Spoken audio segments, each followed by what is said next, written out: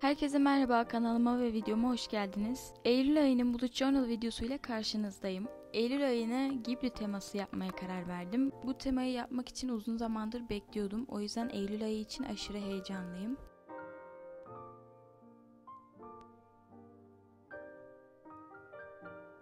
Bu temayla ilgili birkaç çıktı çıkardım. Biraz da elimde vardı onları kullanacağım.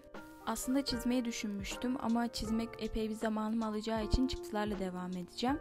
Ghibli teması benim için çok iyi oldu çünkü çok fazla renk kullanabileceğim. Diğer temalarda sadece bir iki renk kullanabiliyordum. Bu da beni aslında ay sonuna kadar sıkıyordu.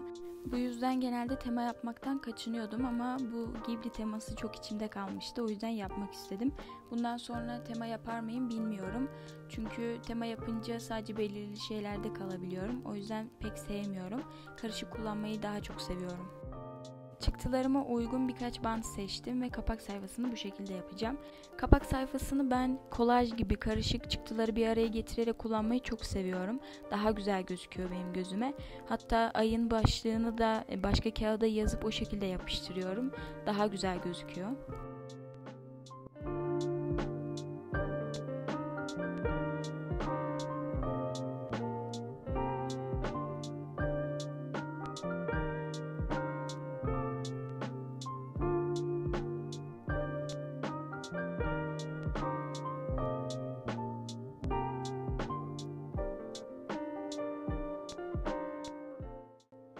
Evet birkaç deneme yaparak hangisinin güzel olduğuna karar vereceğim.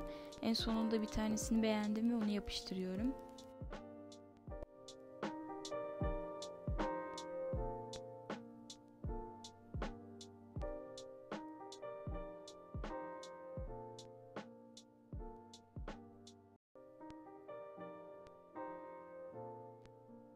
Eylül ayını genelde okul temalı yapıyorlar. Eğer siz de yapmak isterseniz okul temalı yapabilirsiniz. Bullet Journal'ıma genelde yani okul temalı yapmıyorum. Okul için tuttuğum ayrı defterler oluyor genelde. Bullet Journal'ıma yazmıyorum.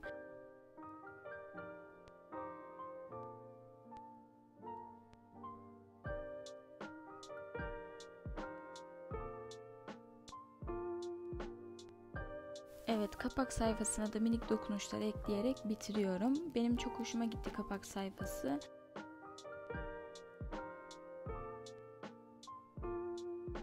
Ve aylık plana geçiyoruz. Aylık planı ben her zamanki gibi yan sayfaya yatay bir şekilde yapıyorum. Bu şekilde kullanmasını daha çok seviyorum. Normalde aylık planımı, haftalık planımı çizerken ince uçlu bir kalem tercih ediyordum. Ama bu ay kalın uçlu bir kalem tercih ettim. Çünkü süsledikten sonra güzel bir görüntü ortaya çıkıyor.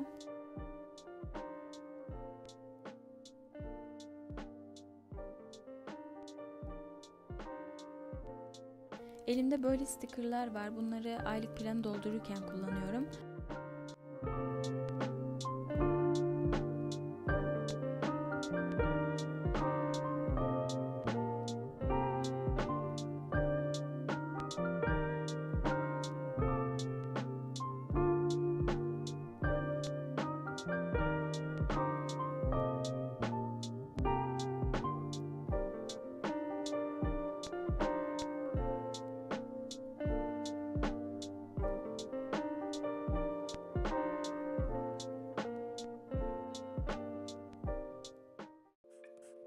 Aylık plan da bitti ve yan sayfaya geçiyorum.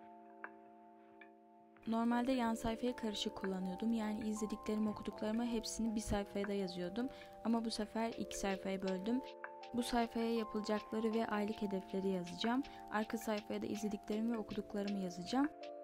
Eylül ayına girdiğimiz için bu sayfayı büyüttüm diyebilirim. Çünkü Eylül ayında çok fazla yapılacak şeylerim olabiliyor. Bu sayfada bu şekilde oldu. Aslında pek içime sinmedi ama doldurduktan sonra güzel gözükür diye bozmak istemedim.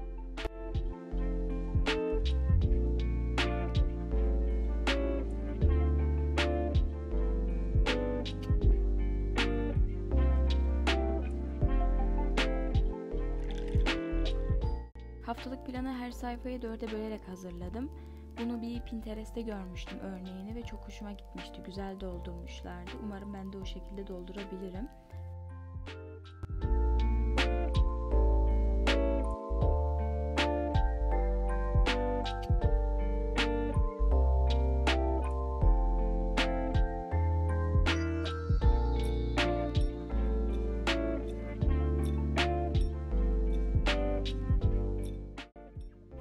Haftalık planda son kutucuk boş kalıyor. Oraya da ben o hafta içerisinde yapmam gereken bir şey varsa onları yazıyorum. Ya da takip etmem gereken bir şey olduğu zaman onları yazıyorum. Bunları yazmak istemezseniz de oraya aylık bir takvim çizebilirsiniz. Hangi haftada olduğunuzu belirtebilirsiniz.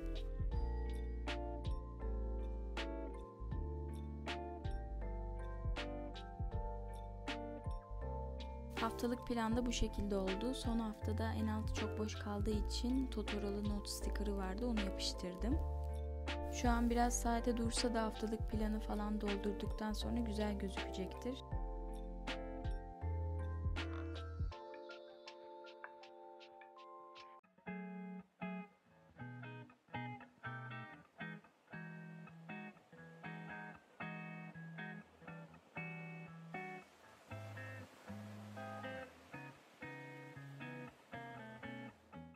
Eylül ayının Bullet Journal'ı bu şekilde oldu. Sayfaları doldurmak için sabırsızlanıyorum. Buraya kadar izlediyseniz teşekkür ederim. Bir sonraki videolarda görüşmek üzere. Hoşçakalın.